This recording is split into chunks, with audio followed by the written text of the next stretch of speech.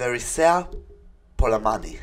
agroplants.org. Uh, this plant, it's epiphyte leaf plant, it's bromeliad.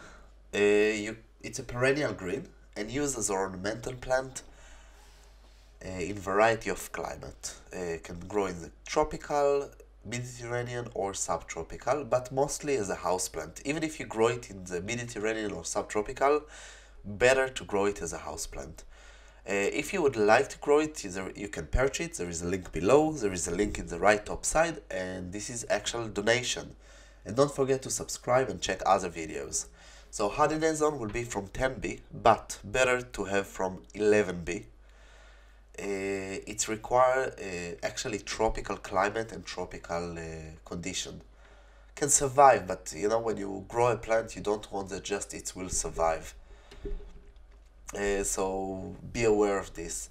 Uh, the flowers are not very significant, uh, but the brackets, uh, this is the showy part, uh, this is what you actually see. The flowers are inside the brackets and they are not very significant. The, the leaves are nice, uh, they are in rosette structure, linear shape as you can see, not just regular bromeliad's plant. So some requirement on how to grow this plant.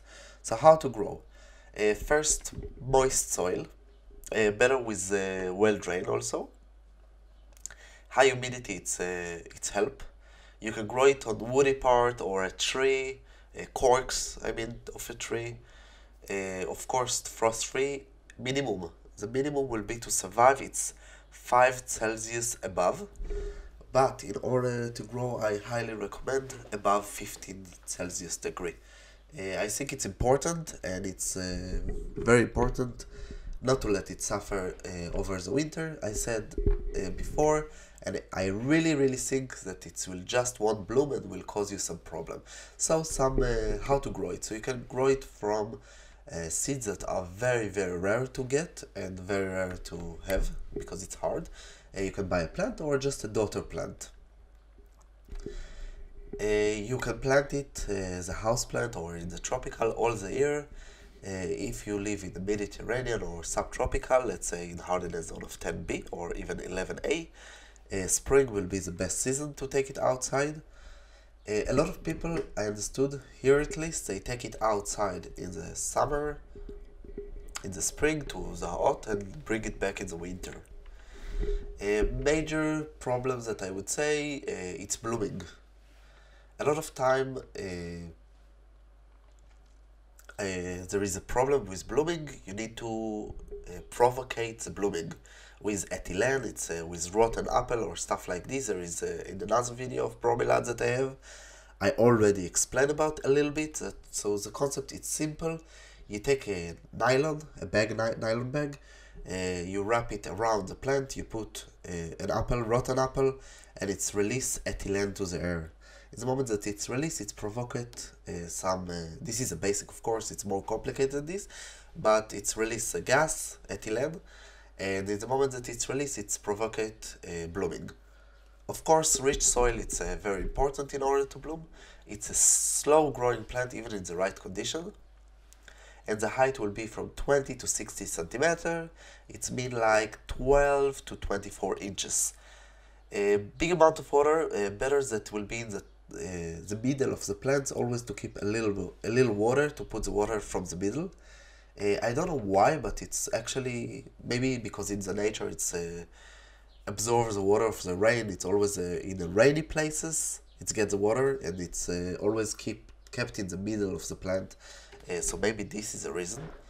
Um, the light light exposure. I would highly recommend full shade. Half shade, it's okay be aware that if you live in a very very hot pla uh, place with a hot summer uh, it will be burned. Even in half shade it might be burned.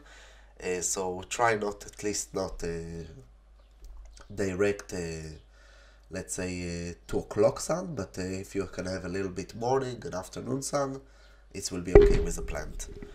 And this is why it's a great house plant because actually it's growing full shade very easily with the light of course uh, as I said before it's about the blooming, uh, if you provocate, you can have all the year.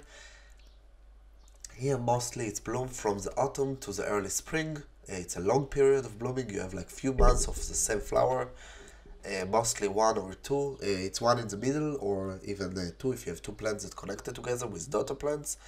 Uh, if you have daughter plants, you can put it in a different pot or just to increase the pot. Don't forget that if you grow it in a pot uh, or container, uh, check that uh, there isn't too much roots. In the, there is enough place, I mean, for the plant, especially if you have daughter plants that take more and more place. Be aware that you increase the amount, uh, the size of the pots that you have. Except this, it's uh, a lot of people grow it as bouquet, uh, as an annual plant because they get it with the flowers. It's very beautiful. Uh, just they keep it. I don't know why to do it, but uh, because you can have it uh, next year. Uh, I'm assuming that I know why actually why because of the problem with the with the flowers that it's a lot of time not blooming to people. So be aware that it's you can solve it. It's not a problem, and you can have the same plant with daughter plants and really big and beauty, and just to enjoy from this.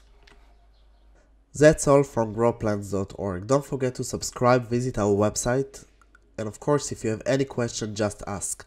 You have here links about more videos, some lists, subscribe, and of course purchase a plant and this is donation for our channel. I hope you enjoy and come visit us again.